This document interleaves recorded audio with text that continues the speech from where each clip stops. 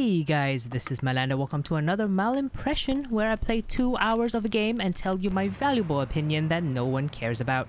Today, we're looking at one of my most anticipated video games of 2021 Life is Strange True Colors. Love you too, Leon. Like most of the game I play on my channel, I'm in it for the game. The gayer it is, the better it is in my book. And Life is Strange True Color is definitely the kind that's permanently stuck on multiple pages in that book of mine. Apart from video games, another nerdy thing I love is D&D, Dungeons and Dragon. I mostly play Pathfinder, but whatever, same thing. We have been promised that Steph from Before the Storm will be in this game, so I'm expecting a lot of Yuri, Shit. dice rolling, and TBKs. Really? Your axe strikes Elamon's leg, severing both feet at the ankles. Hey, They don't have to do you happen know at the same time, but would be gamer? best if it would. Yuri and D&D, I mean. Steph has a So fair warning, right off the bat, Life is Strange True Colors is a 10 out of 10 for me. With that said, this video will have a high possibility of being extremely biased, so uh, take it with a sack of salt.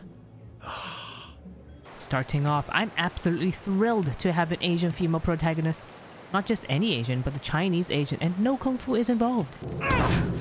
It feels pretty good to be represented. And in my playthrough, I'm gonna make her extra gay, extra represented. Kudos to Deck 9. I managed to avoid all trailers and spoilers so I can dive into this game as blind as a lesbian bat, just the way I like it. What I know is that this game is about a girl who's She's all extra sensitive to people's feelings, an extreme missed empath, and um, yeah, Alex, Steph. right? I'm Steph. We first get to see Alex and her counselor. We have no idea what's up with her or her story, so I assume finally that's for us to gradually discover You've been at later on. Helping Hands Seems like she's leaving somewhere to reunite with her long lost brother, Gabe. part of the pro- When we meet him, we find out that we have mind reading powers. Cool. She's all grown up. And I missed it. That's one of the most useful superpowers in my opinion. Just imagine negotiating your salary with If I don't get in. And this is why I don't Shit. deserve any What if superpowers. I do get in? In just two Eleanor, hours, so hey, many characters were introduced, and it seems like they're here to stay. So uh, get ready for the list. We have Eleanor, We are so. Riley, Goat, Ethan, Tsundere couple, Dear One, Ethan's Charlotte. not allowed up there anymore. Ryan, Dear God. Jed, a hell of a lot about you. Duckie. You were coming. Can't keep up? No problem. Then we have Mac, Pie Diane. special with fries. Pike, Valkyrie, and Steph. Do you Whoa, know that's what a lot. LARP is? Oh dear. Gabe thing? seemed to be a wonderful no, no, brother no, so no, no. far and uh, No, no, seems I'm very caring that. as I'm well. like Dad plus. So I'm looking forward to doing more fun things with him. Maybe uh, more air guitar and dancing. me stuff he don't- The National Park Ryan Service seems to be a nice stars. guy, and my bet is that he's the other uh, romance option in this game. Hands I me the mean, best beers. He's your brother's best friend. So of course he's gonna be on the list of viable suitors. By the way, Riley's a computer nerd, which Yep, is I'm pretty good really cool. and trying to save up. What if Ethan is the token kid we need in every single game. And we have a cat to make it extra gay. Guess now we have? Steph. Steph is no doubt the to take a biggest reason why I'm playing this. I mean, look at that adorable Ryan and I are lesbian smirk. Oh, I can't resist You that. want to take his place? We first seen her in Life is Strange Before the Storm, and uh, she was already one of my favorite characters That there. was- The whole role-playing D&D section in that game was amazing. Oh my god, I loved it. A sexy GM is exactly what I need.